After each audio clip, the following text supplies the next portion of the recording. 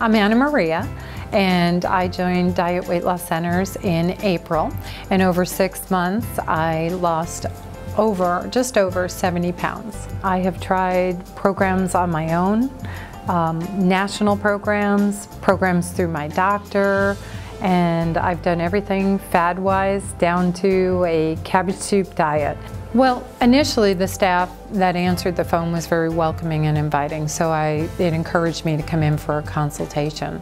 When I met with the counselor, and we talked about what my challenges were and what the program uh, entailed and what my options were. It was very clear to me how passionate and how personally invested everybody in the office was. And um, without a doubt at that moment I made the decision that I was in the right place. Um, going in every week and being coached through very difficult times of adjusting eating habits and calorie intake and and just sharing the challenges I faced in that week and trying to accomplish the goals.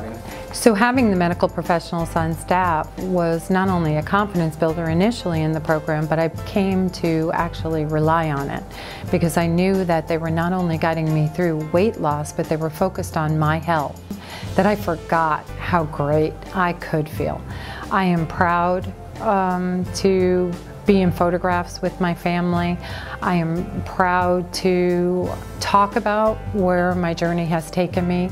My life has changed. I had a son who was deploying off to war in Afghanistan and had just found out that he was having his first child.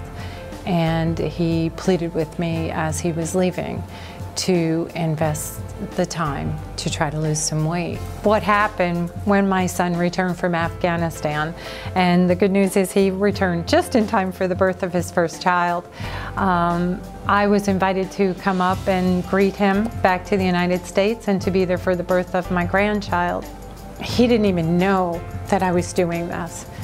And when I saw his face,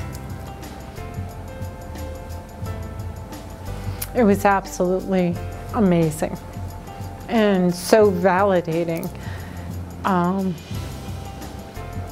that I had did, done the right thing for not only me, but for my family.